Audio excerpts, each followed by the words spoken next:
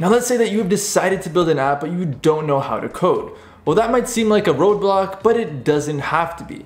With drag and drop mobile app builders, you do not need to know how to code to build an app. Now, there are lots of drag and drop mobile app builders out there these days. To help you decide which one to use, here are our top 6 picks. Now obviously we have to include Mobiloud.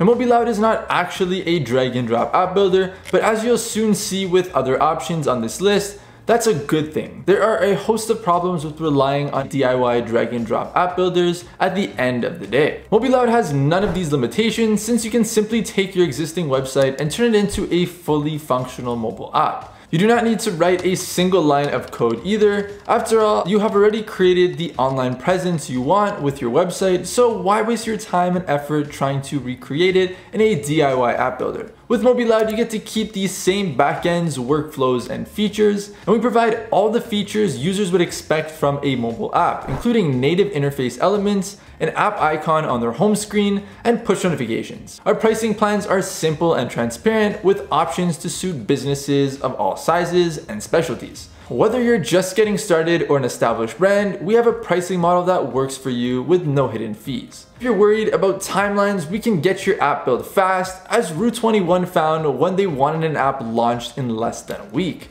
Now some of the pros of Mobiloud is there is no code needed from you, you get to keep all of your website custom features and design elements, the transparent pricing model, white labeling is included at every pricing tier, and there's no limitations on integrations. Now some of the cons are you may not be able to harness some native device features, and you already have to have a website created. The second option is AppyPie. AppyPie is a well-known DIY drag and drop app builder. One of its main selling points is that you can use AppyPie to build a website and an app. So if you've yet to get started on your own online business, it could be a good option. And in addition, you can rely on templates to get your app started. If you don't know quite the shape and form you want for your app, these are handy.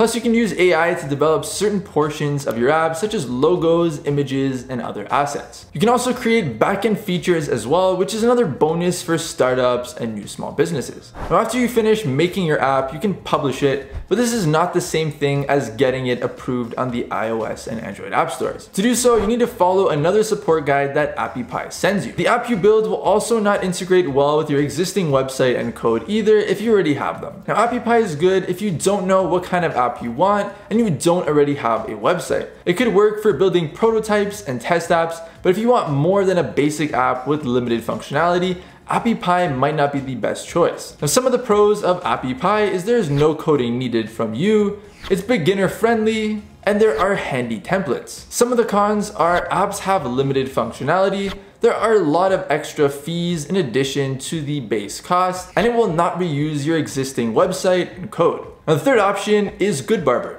GoodBarber is another DIY app builder and it targets a wide range of businesses and audiences including e-commerce, fitness, restaurants, and more. And one of its main features is the ability to integrate additional options via add-on packs.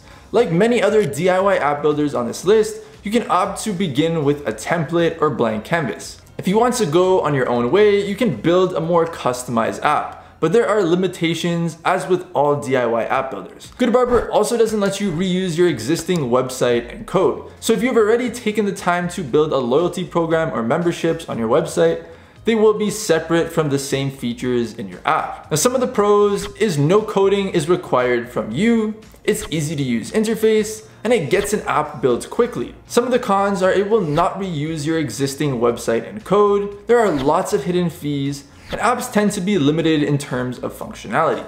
The fourth option is Plobal Apps. Shopify e-commerce store owners may want to consider Plobal Apps, but any other e-commerce platform user should look elsewhere. That's because Plobal Apps is Shopify only. There's a handful of cool features that you can take further and use AI to offer product recommendations to your existing customers based on their shipping habits. You can also integrate product search and filtering features. Your catalog will update accordingly on both your website and mobile app every time anyone makes a purchase as well. So far so good, but remember it is all Shopify only. If you use any other backend, you are out of luck. Furthermore, only Shopify features will be shared between your website and your app. Any other customizations that you've built for your website, such as theming, plugins, and custom code, won't be. Therefore, Plobal Apps is likely best if you rely heavily on Shopify, but have not customized much else on your website. Otherwise, it may be too limiting, and as noted, it has nothing available for other e-commerce backends. Now, some of the pros is no coding is required from you, there's a tight Shopify integration, and it has an easy to use interface. Some of the cons are it is Shopify only, you may not reuse all of your website's existing features and code, and its highest price, most feature-rich tier takes a cut of your in-app sales. The fifth option is Buildfire. Buildfire is a template-based option. You start off with a template and then rely on plugins to add features that you want to your app. Now one of the highlights of Buildfire is their claim that if you cannot find a plugin you need, you can build it yourself. But that is a double-edged sword. After all, you opted for a drag and drop app builder in the first place to avoid situations like this. Why bother hiring someone to build you a plugin or build it yourself if it means you have to get boggled down in coding at the end of the day anyway?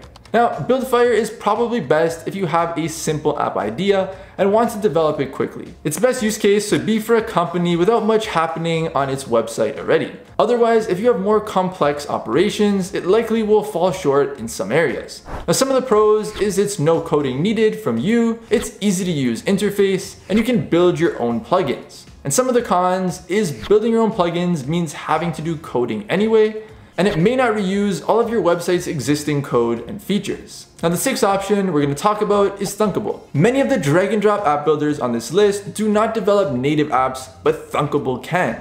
Instead of limited templates, you have access to native features of iOS and Android.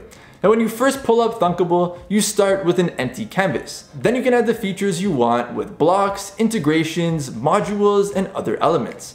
Now pricing is pretty transparent too. The basic plan is free, but it limits your number of downloads and storage capacity. From there, plans begin at $15 monthly, but App Store publishing doesn't start, so if you want that, be prepared to pay more. However, a native app will not integrate very well with your website. Any custom features or code that you have already built to work with your website will be left out. Now some of the pros are it lets you build native apps, there's lots of freedom in design and functionality, and it has an easy to use interface. The cons are it likely will not reuse your website's features and code, and you'll have to do all the work.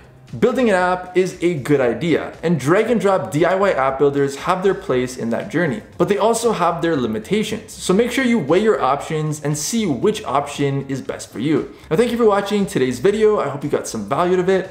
And as always, my name is Jamarco and I will see you in the next video.